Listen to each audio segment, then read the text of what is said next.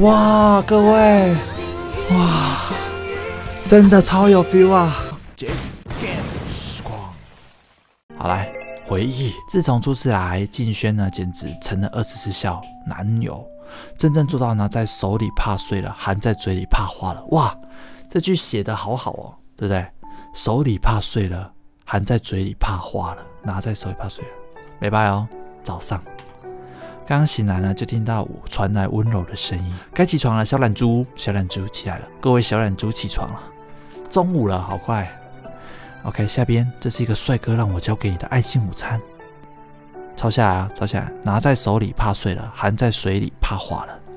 他是我男朋友，你男朋友对你真好，羡慕。晚上，OK，早中晚都有。奶奶担心你的身体，炖了乌鸡汤、乌骨鸡给你喝。啊，有好，我们到时候再看一下，因为我有买鲜花，所以应该可以开哦。帮我跟奶奶谢谢，心里暗自的嘀咕。可是我只是擦伤啊，怎么变成活活被待遇成这个怀孕似的？不要哭，应该等二代了，好吧？笔记笔记，note 一下，note 一下。起床了，小懒猪。这几天呢，一直被当做水晶娃娃似的对待，忍不住问静轩：“你什么时候回 S 市？”我已经联系了首都的一间医院，他们有意一下，哇，为爱不走天涯哎！你说什么？你妈妈奶奶知道吗？知道。我不想你的事情是从别人啊，是从别人口中得知的。我也怕你哭的时候我抱不到你。哇，很会呢，感动到扑到他的怀里。各位学起来，学起来，到时候人家就扑到你怀里了。然后你就对他说：“这个拿在手里怕化了。”含在嘴里，那拿在手里怕碎了；含在水里怕化了。OK，现在报道了，很会很会啊！跟丽娟你侬我的日子没过多久，被打乱的同学聚会也在今天重新进行，重新的同学会啊来了，聚会上看看同学会的部分来了，哇，不一样了，看看已经是触手交错啊！不仅不止同班同学，甚至有很多同校的校友都来了。见你进来，更纷纷把你围住。身旁的小米也忍不住大喊：“小敏又来了！”别急啦，别急啦！班长，班长还认识我吗？我是坐在你后面的李伟。李伟我也没什么印象。下了别句，我是楠楠啊，我们班的生活委员。大家都开始这样子，没你不不有名的时候，人家都不理你啊；你有名的时候，人家都跑来了。OK，学妹，我是大你一届学长。好啦，回忆起高中的点点滴滴，不由语带着怀念，微笑着一一应对。这种感觉其实蛮特别的哦。当你经历过这么多的大灾大难，然后现在呢又回到你手中的时候，又可以见到这些呃过往的一些朋友啊什么的哦，那种感慨应该是蛮深的。好，渐渐的变得小心翼翼了，心中感叹，只好坐到角落片刻休息。众人见你累，也只好自去的暂时散开。见你不再被团围住，这时一个清秀男生才向你搭话：“班长越来越漂亮了。”高中和你关系一直不错，体育委员效力，好久不见。OK，快毕业了，一直找着工作。这边标题就那句，好，这边标题就那句，你是上体育学院的吧？没想到还记着。哎呦，是啊，不出意外，我会去是体育老师工作，很适合你。OK，就看到一对小情侣今天走近了，远不少远远跟陈元和徐，哦，不是哎，不是哎。徐天养啊，那个打篮球的，对不对？陈远跟你信中所写的，自己没回信，还是有些尴尬，对吗？吼，对不对？没错，没错，忍不住抬头了。徐天养痴迷的眼光，让陈远心里更加酸涩。看什么看？徐轩哦，对耶，徐轩没看到哦，忍不住身转身离开聚会。哎，后方，后方，看来陈远学姐对王思翰在乎啊。各位还记得他叫什么吗？记我不记得他，他叫什么名？一哦，听西决系的就对了。好。那我们就选一啦。女神还记得我吗？高中你还帮过我的，抱歉时间太久远。贵人多忘事，很辛苦，好不容易心里又清楚，之前明明喜欢的是你。对了，女神你还记得陈细细吗？我之前见她在电视剧中选出了一个角色，只是我听说。他攀上了时代营业的高管，只是高管的老婆可不是好了，所以日子过得很辛苦啊。原来他还是这样子，拜拜。不一定，不一定。OK，知道还挺多的。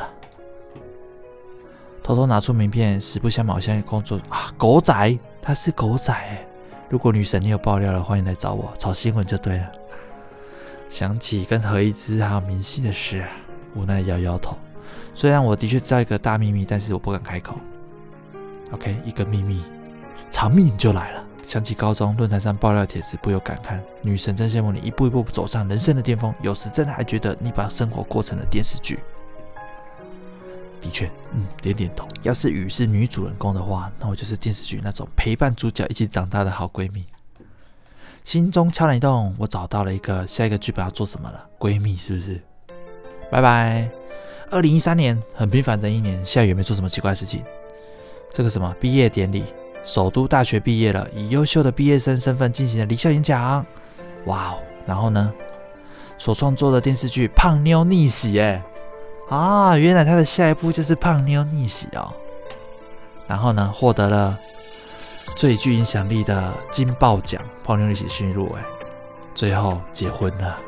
哇哦！以及他组建的属于两个人的家庭。请依次点击四个画面，依次点击。来，先依次的，我说依次来。毕业典礼，watch 一下。首都大学晚会，一个纤细的身影缓缓走上舞台，迎接他是欢笑、含笑的各位老师，以及台下热烈的这个欢呼声。比赛三个最优秀的各位领导、老师、同学们，大家好，我是夏雨。很荣幸呢，在毕业这个之际啊，作为学生代表来这里为大家演讲述这四年的体会。我都没有在念书，都在外面写剧本，居然还能够当这个最佳的校友啊！日日夜夜的稍纵即逝啊！在这段时间里，有没有可能太多的事情回忆值得一一诉说？只是作为首都大学议员，我希望我们不仅要回首昨日，更要展望明天啊！这个很励志，很励志。从前的我们或许只是想让自己以后过上不至于太差的生活，我并不否认这是对的，但我同样期待有一天是我们来改变世界，是让我们的世界变得更加的美好。最后，祝愿全体毕业生前程似锦，心想事成。谢谢大家。随着你的演讲结束，毕业生们纷纷的兴奋，将自己的学士帽抛向天空，抛起来，抛起来。好，第二个，第二个是胖妞的逆袭，对不对？上演了胖妞的逆袭。首都人流量呢最大的中心广场上，一一块硕大的广告牌吸引了数万人的注意，不禁抬头，下周我要上线新电视剧《胖妞逆袭》了。你不知道吗？苍眼都是单眼红的明星，甚至影后江明熙跟伊蒂和一子都会客串呢，当红的明星呐。什么投资商这么大手笔？据说他们都是因为这部戏的编剧免费出演的，哇，超红！这个广告牌一天广告费二十万，小 case 啊，小 case。我们放个。一个月都没关系哦。OK，投资上亿的大制作电影呢，这一次换成了一部校园类型的电视剧。其他的编剧工作室只是羡慕投资商土豪的程度。只是当《胖妞逆袭》正式上线后，紧接而来的便是《胖妞霸屏》的热搜，以及打破去年最高收视率，成为今年的收视之王。而这些也让圈子的人感叹：夏雨的的确是目前编剧中最炙手可热的人才。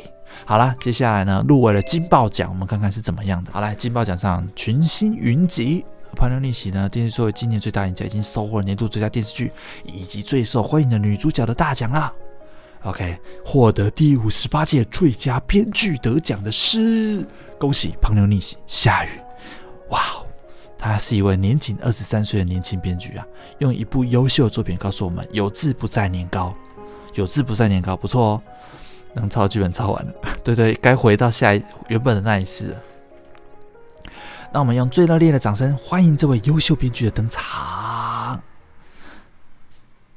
OK，夏雨这一身呢，红色礼服登场，就算和美女如云的明星席相比，也丝毫不觉逊色。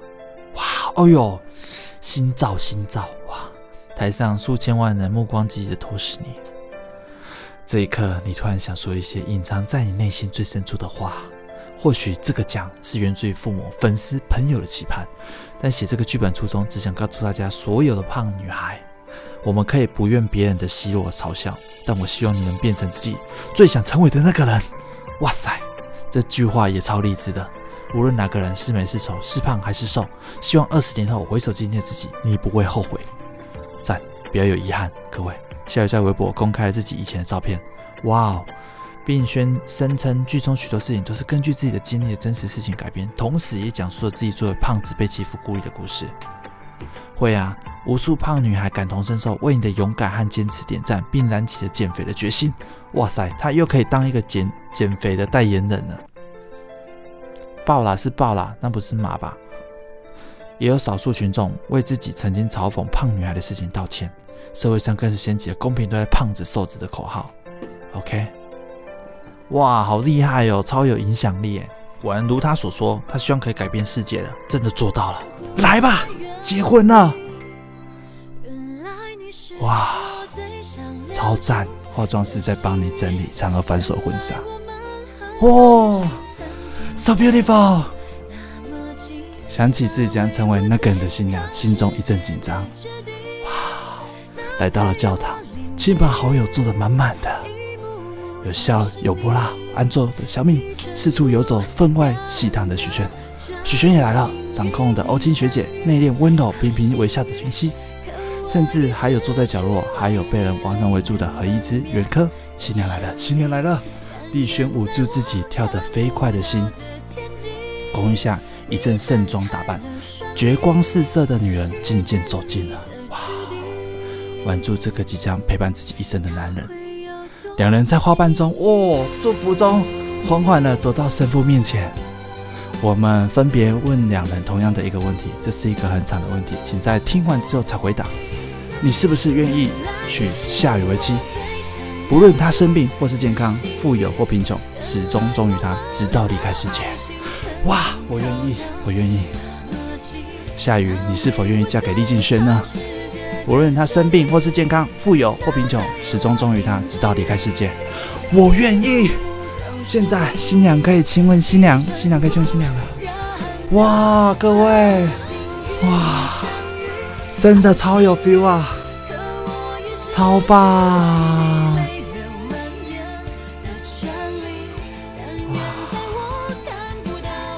完结了，各位，谢谢大家，谢谢大家，我们终于在这一刻把重生之胖妞的历史结束了。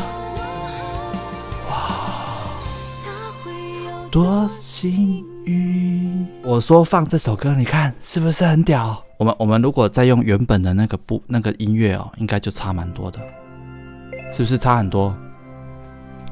好了，完结了。好了，我接下来想要玩的是这个刑侦一颗，刑侦一颗，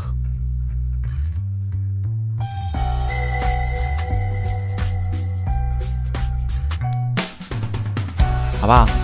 下一次呢，我们玩的就是这一张啊，哦，就不是胖妞的逆袭了。非常感谢大家，真的，胖妞呢可以。出了四十五集哦，应该四十五集左右。OK，我就是想要玩一点类似这样，然后不要都是纯情爱情的这样子，好，好不好？感谢大家收看哦。如果喜欢我的影片，喜欢我的频道，也记得帮我按个赞，按个订阅，随时按下铃铛追踪我的开动态。我们今天直播就到这边结束了，谢谢大家，晚安，下次见。